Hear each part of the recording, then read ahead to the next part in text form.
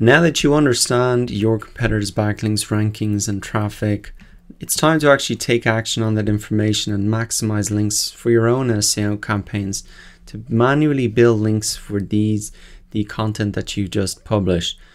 What you can do is really once you have found those authoritative sites that have do follow backlinks, you can really manually reach out to them by email to pitch your latest blog post or product. To give you an example of this, I'm going to come into one of the do follow backlinks that I've found here.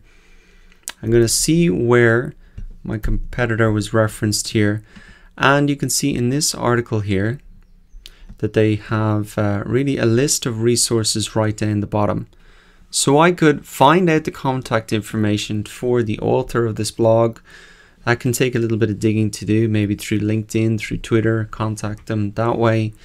But you could also say, hey, I came across your article with the title X and um, noticed you referenced this particular article. It's one of my favorites. I've also put together a checklist for new websites and SEO audience. Perhaps you want to reference that as well.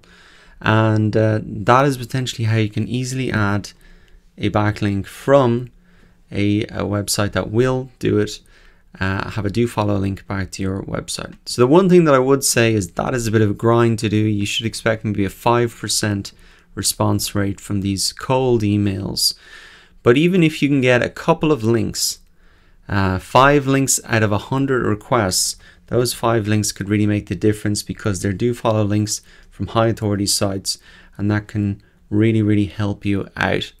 Another thing that you can do to maximize links for your SEO campaigns is search for existing non-linked content using these two tools here. So let me give you an example of this.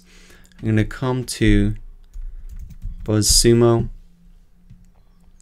You can maybe type in the name of a brand or a company. You'd obviously do this for yourself, but as I'm just getting started, I don't have something to reference. Um, so let's just put in a local company here in Dublin here. And what I can see now are some of the articles where this business has been mentioned. And if I click this open, what I could see is that the company is referenced here, but there's actually no link back to their website. It'd be great to maybe reach out to this website owner and say, fantastic to have the uh, article there, delighted to have it but could you include a link back to our website from our brand name? And that'll help increase your authority, particularly because this website has a good domain authority as well, a very good domain authority. So that is another way that you can maximize links, uh, not only for your SEO campaigns, but for your website in general. And essentially, you just want to contact the owner and ask them to kindly link back to you if possible. So you don't want to be too pushy, do not expect a huge response rate on this, but it's definitely worth doing this work because it's really uh, an easy way to get backlinks to your website. So that is the process. In the next lecture, we're going to talk about the type of content that can really generate a lot of links and social shares